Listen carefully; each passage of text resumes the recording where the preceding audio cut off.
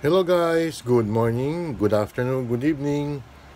Sa mga bayaning OFW dyan, mga nagtatrabaho sa abroad Amerika, Europa, Middle East, sa Asia Sana nasa mabuti kayong kalagayan.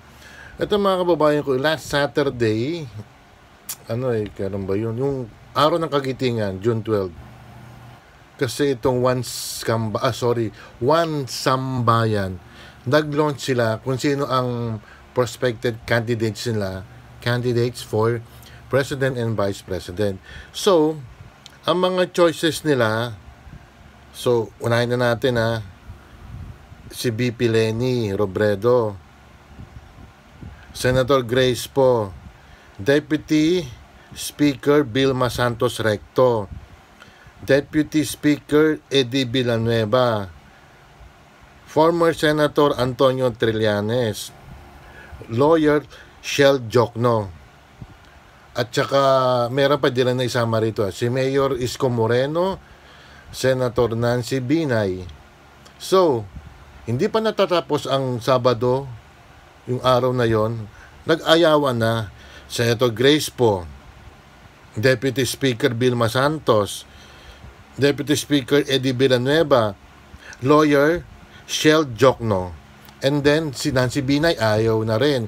Uh, sabi ni, B, ni Senator Binay kasi, kasi, uh, yung ginawa nila sa tatay nila, yung tas sa tatay nila ni Senator Binay, na si Jejo Marbinay, BP dati, di ba, yung nagkaroon ng investigation regarding sa Makati parking.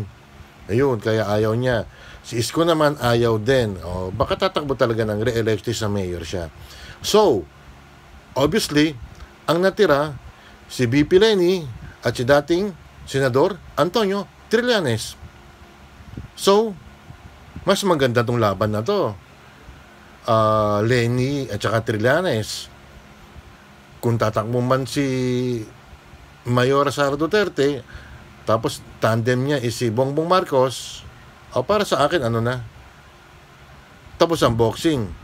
But, just in case hindi tumakbo, si Mayora Sara Duterte, yan ang magandang laban. Yan ang magandang laban kasi si Pacquiao tatakbo. Si Lacson tatakbo. Sino pa ba? Re, si Speaker Cayetano, dati Speaker Alan Peter Cayetano tatakbo. Yan ang, ito ang magandang laban. Eh kasi naman, itong Wansambayan na to, hindi man sila nagpaalam dito sa mga denominate nila. Basta-basta nilalagay na lang. And then may mga palusot pa sila na hack daw yung site nila. Eh, ano eh, alam nyo, Mr. Mr. ano, just, dating Justice Associate Carpio, hi, ang mga Pilipino talagang marurunong na, eh, natuto na talaga eh. Kasi mga style nyo, si Del Rosario, si dating Ombudswoman Morales, and then ikaw, Mr. Carpio, ayaw ng mga Pilipino mga elitista hindi ko sinasabing masama ang elitista. May mga elitista rin na mabubuti. Siguro mga 1% lang. Kasi anting, ang mga ibang elitista kasi anting sa mga maliliit na tao, parang ano lang, garbage. Opinion ko yun ha. Personal opinion ko yun. Huwag kayong ano, gumawa kayong sarili nyong vlog ha. Libre sa YouTube ng ganito. Kailangan may, ang, ang problema, ang ano lang dito sa YouTube, kailangan disente ka pero may mga part ng YouTube na pwede kang magano mga profound ba yon Profane words ha? Ito, may isang analysis, ah sorry ha, may isang political analyst, ang pangalan is, sino ba to? Si Professor Cla- Clarita Carlos. Eh kasi naman eh, bago lang yan, one sambayan na yan eh. Actually, Liberal Party naman yan eh. Ang sabi niya, and I quote, pag wala kang political party at suddenly magsusul magsusulput ka and you you put together you, you put together people. It's not called a political party. At ang common lang sa kanila is anti-Duterte lang naman sila talaga eh. Tama tama si Professor Clarita Carlos. anti-Duterte naman na yan eh. Alam naman natin na si Lenny at saka si Trillanes kung matutuloy ang tandem nila wala naman sila magiging plataforma eh ang plataforma nila, dudurugin nila yung dating administrasyon. Si, ano nga, Presidente Rodrigo Roa Duterte. Yun, yung mga issue nila tungkol sa mga EJK na yan, sa droga, mga ganyan, West Philippine Sea, corruption kuno, wala, sisirain nila. At saka maglabas pa, baka maglabas ka pa, Senador Tirlanes ha, ng Excel na sheet ha, yung tungkol sa bangko. Hindi matatanggapin ng bangko yan eh, amount lang yan eh. Napakahina mo. And I quote pa, meron pa. Ang political party ay, ay may istruktura, party institute, program of government at platform. Hmm, tama. Dapat may platform kayo ikaw ba, Lenny at Le, uh, Trillanes, ano bang gagawin mo after this health issue natin? Anong gagawin mo? Paano natin babayaran ang mga ating pag, pagkakautang? Itutuloy mo ba ang mga proyekto ni Pangulong Duterte? O baka ihinto mo, gagayahin mo si Noynoy Aquino na nagbayad tayo ng almost 1 billion pesos dun sa dredging na nagbayad tayo sa wala? O babalik ba ang mga krim- Actually, ang kriminalidad, hindi naman na sa wata talaga eh. Siguro mga 60% mataas na yun dahil kay Duterte. Ang mga drug addict na bawasan. Anong gagawin mo ron, Lenny, Trillanes? Doon sa mga ibang kandidato pa.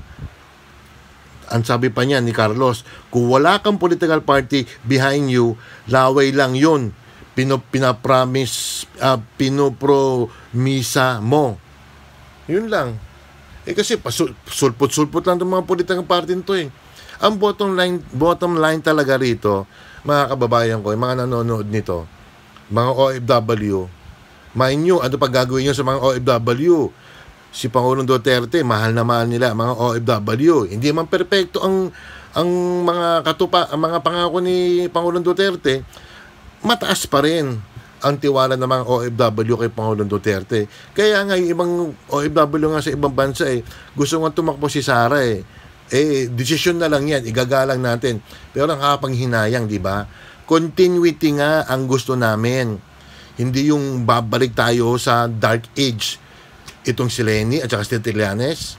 Hawak to ng mga malalaking negosyante. Pasensya na ha. Ano ko to? Uh, opinion ko to, komentaryo ko to kung may iba kayong komentaryo, okay lang. Uh, walang, wala lang ano, wala lang tolonggesan. Walang murahan ba? Hindi ako, di ako, ilan ang mga, mga videos ko na never ako nagmura. Pero sa mga ganito, mas maganda nga tumakbo si Lenny at si Trillanes eh. Tignan natin kung ilang boto ang makukuha nila. Tapos sasabihin pa niya, sa local na lang siya tatakbo. Gobernador ng Kamsur na lang. O ayan na, pagkakataon mo na, BP Lenny, Napatunayan mo kung talagang mahal ka ng taong bayan. Wala nang pakeme-keme, wala nang paarte-arte. Kung tatakbo ka, mag-file ka na. At galingan mo kung anong, kung may plataforma ka, as I've said, propaganda ang gagawin nyo. Sisirain nyo yung mga, yung dating administrasyon kay Pangulong Duterte. Sabagay, ang debate yan, ano eh, ang start niya ng mga April 2022 ang eleksyon kasi, I think, May 11. Correct me if I'm wrong ha. May 11 ang eleksyon 2022. And then, ito turn over na ni Pangulong Duterte ang kanyang presidency kung sino man ang mananalo sa 2022 sa June 30, 2022, 12.01 p.m. Oh, buti. Uh, Nag-research ako kaya ganun eh. June 30 ang last ni Pangulong Duterte. So, kung kayo ay nais bumoto kay Lenny at Trillanes, okay, walang problema. Yan ang choice nyo yan. Walang sisiyan lang ha, at walang pikunan pag natalo sila. At alam ko naman na matatalo sila. Ang maganda nga talaga rito, kung hindi tatakbo si Mayora Sara Duterte, ang gandang laban yan eh. Alam mo, napipredict ko, just in case lang, hindi, hindi tatakbo si Mayora kung tatakbo si Bongo, siguro minority siya. Kung hindi na matatakbo si Bongo, baka i-anoint ni Pangulong Duterte si dating speaker Alan Peter Cayetanon. Ano ko lang to, analysis ko lang to ha. Para prediction lang ha. Ayun ang ano ha. Malabo siguro ma-anoint si Pacquiao. Yung si pinagagawa niya, di ba? Halos ano niya eh, tinitira niya ang sariling partido niya eh. Oh.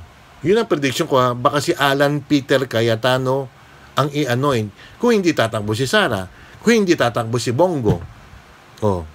Yun lang mga kababayan ko. ah, ito ang aking komentaryo, reaction, ang opinion, ang analysis ko. Kasi ilang buwan na lang, o July, August, September. O ba, magti 3 months na lang, o 4 months, magpa-file na ng mga kandidasiya mga yan.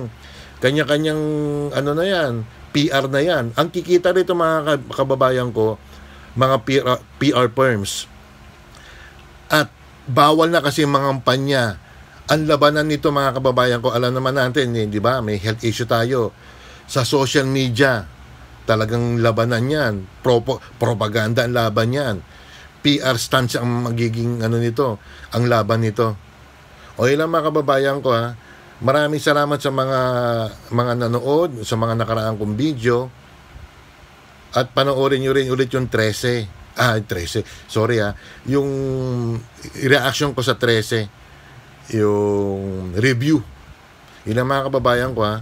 Don't forget to like and subscribe. Hit the bell notification. No skip ng ads. Lagi tayong mag-iingat mga kababayan ko ha. Maski inoculated na kayo, kami siguro malapit na. Maski inoculated na kayo, lagi kayong mag-iingat. Wear the proper gears. Maraming salamat po. Bye.